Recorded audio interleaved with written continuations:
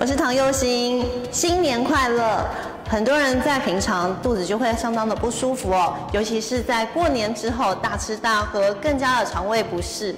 所以今天我要教你两招很简单的动作，一方面可以增加你的肠胃蠕动，再来也可以训练你的侧斜腹肌，让我们腰部曲线更漂亮哦。第一个动作是坐姿拧转，它可以让我们消化系统功能加强，雕塑腰部的曲线。吸气的同时，让手往上，臀部坐稳；呼气的同时，把手肘推开膝盖，两手在胸前合十，让脊柱再往上拉长，停留两个深呼吸，左右各两次。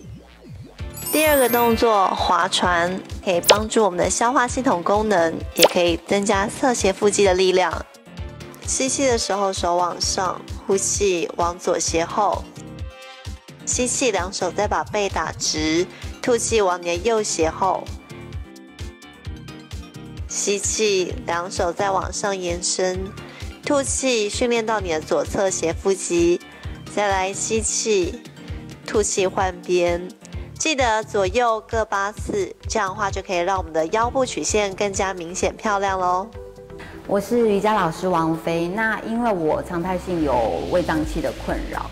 那也是借由瑜伽的拧转式的体式去帮我改善这方面的毛病，所以我也是利用这些的体式去帮助许多学员在这一块去做改善。